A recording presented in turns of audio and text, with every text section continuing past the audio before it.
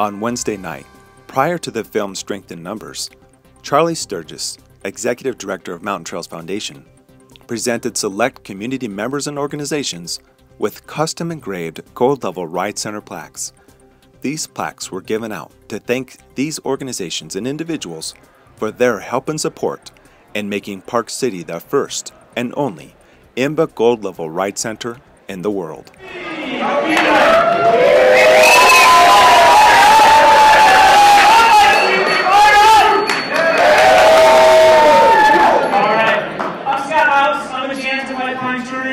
We are the ones bringing you this film tonight along with some other generous partners.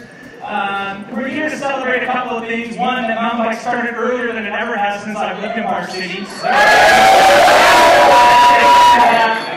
Number two, we're here to celebrate uh, us as a community. Uh, we are the mountain bike destination we are because so many cool people live in this town, build trails, ride trails, and live for it. So thank you to everybody in this room. We're also here to celebrate our IMBA Gold Level Ride Center designation. We are the first and only IMBA Gold Level Ride Center in the world.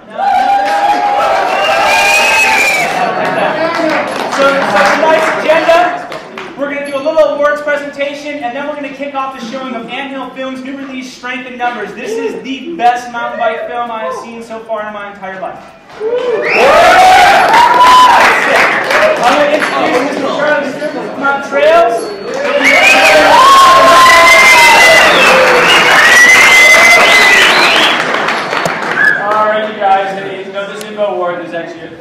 Deal, and we wanted to take a moment uh, from the Mountain Trails perspective. We actually were the recipients of the award, but it really sort of through hook and crook, like Scott said, it's really a community award. And there are significant entities in town, entities and individuals, that made this thing really happen over the last 25 years or so.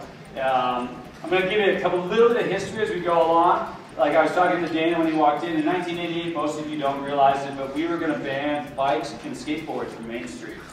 So we've come a long way, you know. Back in 1988, 89, we had, I don't know, 12, 14 miles of uh, trails that were illegal. They were banded trails. They were really welcome, but they were, you know, being enforced. Nothing was being enforced. So anyhow, we're going to start off with basically the significant entities, which basically in landowners. You know, in 1980 or 1992, 93, there was huge liability issues opening your land to people to ride or recreate.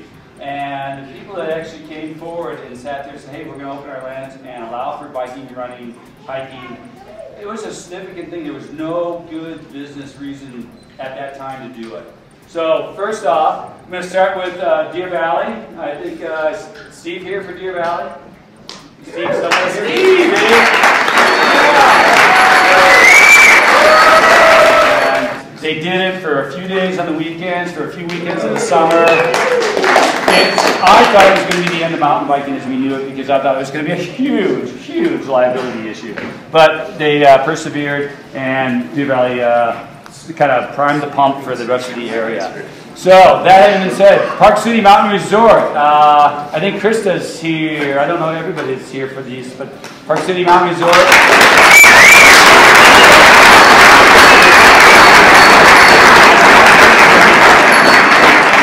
And uh, John O'Connell with Colony. Without Colony, it could have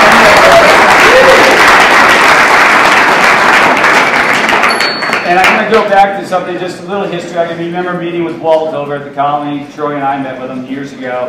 And when he was first talking about letting trails go on, and going, well, why would you want to do this? And they were doing it. I mean, here they are building very expensive homes, appealing to some very uh, wealthy people, and yet they were willing to open their lands to the general public to use as in a non-motorized non recreational sense. You got to give them a hand for that. The Canyons has obviously been a big player in the last few years. And Yeah. Obviously,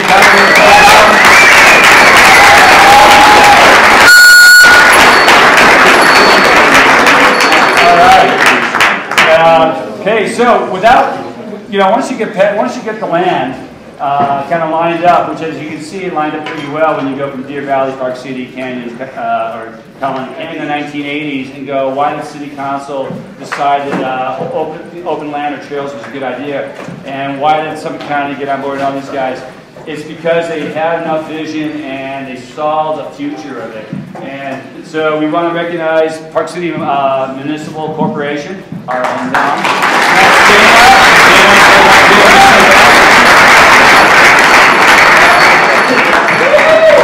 you know, Dana's just back from China. He's uh, been uh, been out there uh, letting the world know about Park City as well. Summit County, and I don't know who came from Summit County. Sally! Oh, Sally did. All right, Sally.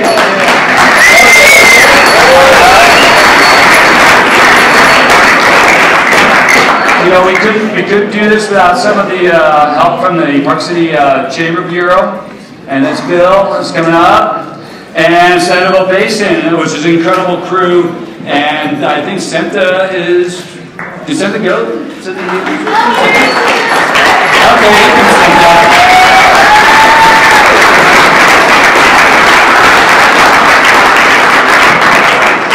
Senta is freshly uh, rehabbing from her ACL injury. She looks pretty good, that thing's out.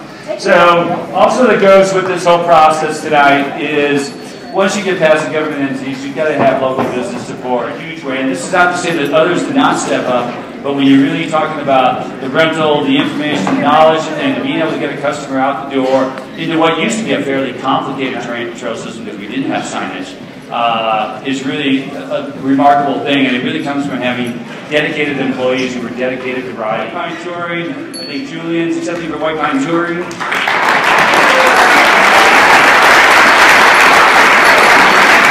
Dude is out there somewhere. Dude uh, is accepting for Coles. And Todd, you're accepting for Jans.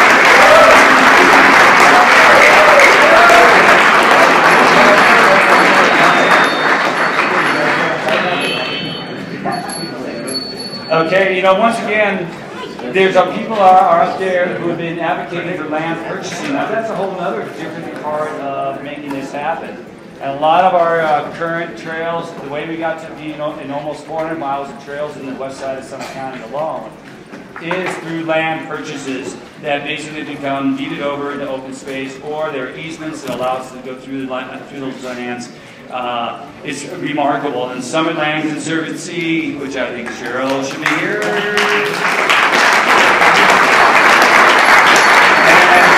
also, Utah Open Lands.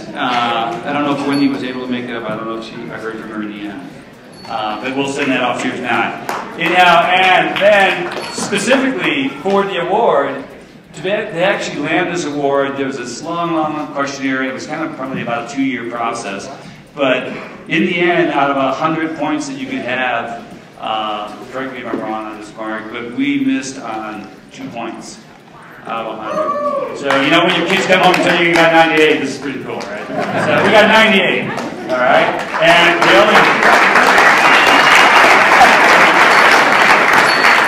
So, Mark, Mark Fisher, one and two, Mark Fisher, uh, Scott House, who's the white member also.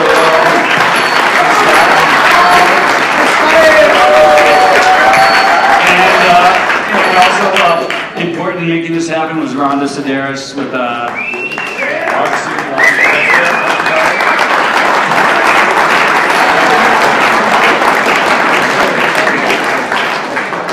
So, all that, once all these components were in place, you still have to go build the trails. So, I really can't tell you how important it is. You see these guys out there all the time. The guys who have been working out on our trails for the last, I don't know, I have to ask Bob, I think Bob, 10 years? Bob, 10 years, Bob? Rick, I know, seven. But uh, let's get Bob Recke, Rick Fournier, and Don Taylor, who started trail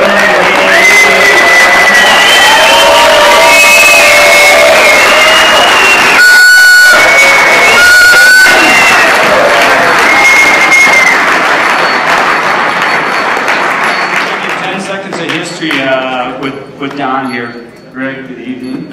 Uh, I built the trail as volunteer. Oh, he was probably working. He was probably on payroll. But we built one of the, we built one of the first trails well before we had machines. We barely had tools. I don't know what was that 1992. Yep. Probably up in the upper section of Deer Valley. Deer Valley was just getting really fired up to do the whole lift thing. It was really. I mean, I can remember being out there, and I, I don't know down. You remember the name of that trail? It's that little one that goes through the Aspens that winds up there. Um, you built, yeah, maybe Aspen Swamp. But anyhow, it, I mean, it still sticks in my mind to this day. We're out there building trails as volunteers with little hand tools. We have obviously stepped it up a lot since that point. So anyhow, moving along, two people who are completely, totally visionaries in this uh, in this community for going with open lands and trails and recreation.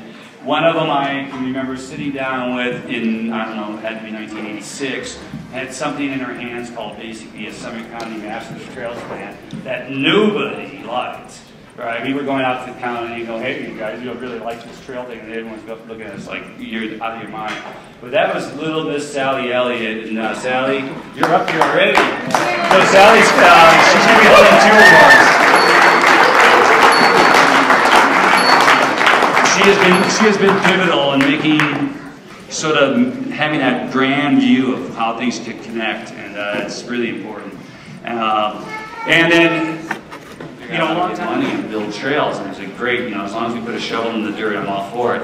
And that is Mr. Jan Wilking, who has been in town for many years.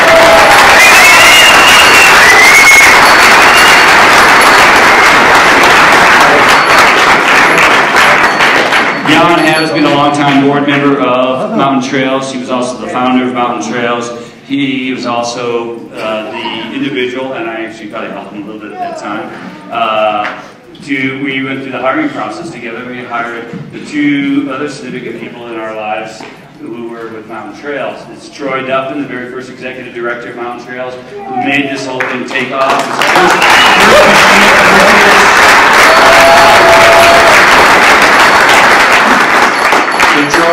You out there? Come on, Troy, you gotta come up here, stop being bashful.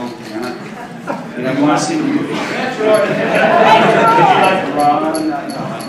Anyhow, and I, I don't believe that uh, Carol Potter is here tonight, our second, but a very, very influential